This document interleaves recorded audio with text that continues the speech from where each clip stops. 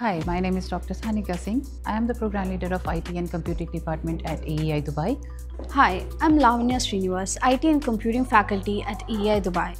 Today we delve into the secrets of forging a successful career in the dynamic realm of information technology.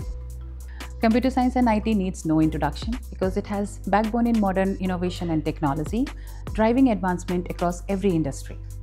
Now the question rises, what steps can you follow to enter into the dynamic world of computer science?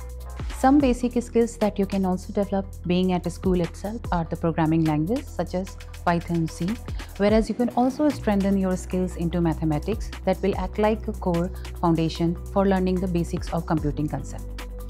You can strengthen your skills in mathematics, especially in areas such as calculus, algebra, and statistics.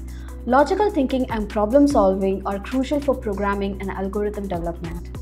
Since today's learning is not limited to classroom studies, you can opt for online options available nowadays. There are various resources available which are even free of cost. You can use those resources in order to strengthen and learn the new IT skills and you can excel into this career. I have completed my 10th grade and I'm very passionate about IT. What do I need to do for a successful career? So after you complete your 10th grade or O levels, you can opt for level 3 International Foundation Diploma in Information Technology, which is equivalent to your 12th or A levels. In high school, you have a very limited subject options such as information practices or ICT.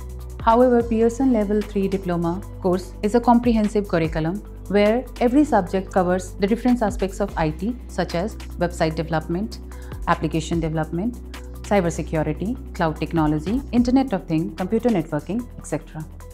I have finished 12th grade. What pathway should I choose to have a successful IT career?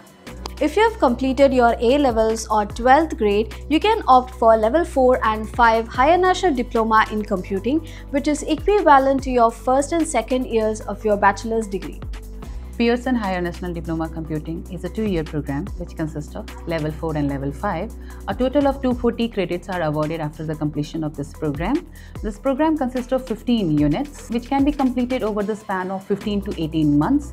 Each of these units is a perfect mix of theoretical as well as the practical experience. In this program, students can choose from various specializations available which are network engineering, software engineering, cybersecurity, data analytics, etc.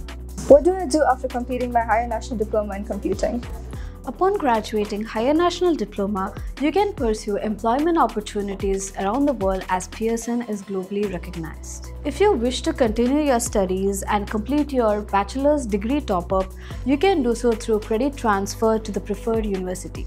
Many AEI Dubai graduates have gone on to study at the finest universities in UAE or around the world. The IT industry is an ever-evolving field that offers various career opportunities and profiles which are high in demand such as network engineers, data scientists, software engineers, software developer, cybersecurity specialists and so on.